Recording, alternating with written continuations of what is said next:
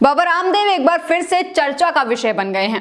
कभी डॉक्टरों का तो कभी दवाइयों का। मज़ाक उड़ाने के बाद इनके पेट में जब कोई बात हजम नहीं हो रही तो अब इन्होंने महिलाओं पर भी अमर्यादित बयान दे दिया है। बयान सुनने के बाद तमाम लोगों के जहन में गुस्सा खोल गया होगा। लेकिन अफसोसजनक यह है कि इनके अगल बगल तमाम महिलाएँ बैठी थी, जिन्होंने इनके बयान पर एक बार भी प्रश्न नहीं किया। सबसे पहले आप इनका बयान सुनिए। सामने वालियों को साड़ी पहनने का मौका मिल गया, पीछे वालियों को मिला ही नहीं। साड़ियाँ अपने झोले में पैक करके लेके आई थी। वो इस सुबह योग किया, उसके बाद इंडिया टीवी का कार्यक्रम शुरू हो गया, उसके बाद अब दोपहर वाला शुरू हो गया। अब घर जाके पहन लेना। कोई बात नहीं। आप साड़ी पहन के भी अच्छी लगती हैं। आप सलवार सूट में भी अमृता जी की तरह अच्छी लगती हैं और मेरी तरह से कोई ना भी पहने तो भी अच्छे लगते हैं। तो सुना आपने किस तरीके से ये बयान देते हुए कह रहे हैं कि महिलाएँ जिन्हें जो आगे बैठी हुई हैं, उन्हें तो समय मिल गया कि वो सूट से साड़ी बदल सके, लेकिन जो पीछे वाली महिलाएँ हैं, उन्हें समय नहीं मिल पाया कि वो साड़ी में अपने आप को चेंज कर सके, यानी कि टाइम दे सकें।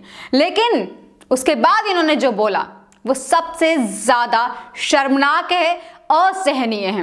क्योंकि हमारे देश में कहा जाता है, यत्र नारी पूज्यते तत्र रमते देवता। यानी कि जहाँ नारी की पूजा होती है, वहाँ देवता वास करते हैं।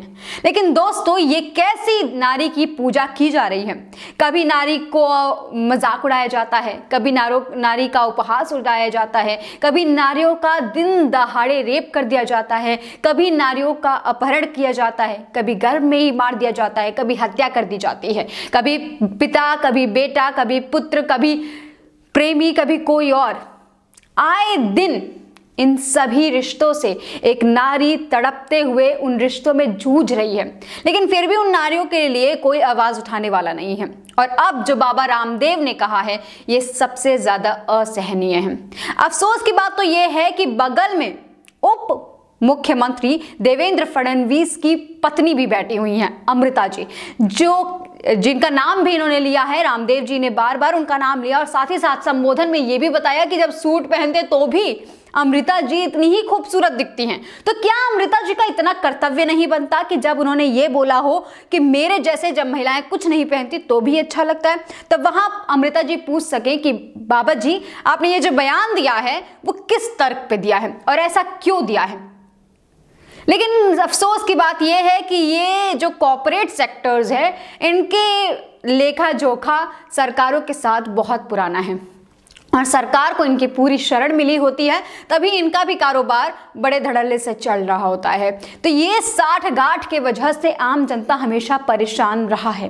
खैर, परेशानी तो बात दूसरी है, लेकिन जिस तरीके के बयान लगातार बाबा रामदेव के तरफ़ से आ रहे हैं। कभी डॉक्टर को लेकर, कभी महिलाओं को लेकर। ऐसे में लगता है कि बाबा रामदेव अपने आप को कुछ ज़्यादा ही बड़े बाबा मानने लगे हैं। या तो ये अपने आप को देवता मानने लगे हों। इसलिए इन्हें ना ही किसी चीज़ का खौफ है, ना ही डर है और ना ही इन्हें लगता है कि इनके खिलाफ कोई कार्यवाही करेगा। खैर दोस्तों, आपकी क्या कुछ राय है, हमें कमेंट सेक्शन में ज़रूर बताइएगा। चलती हूँ, नमस्कार।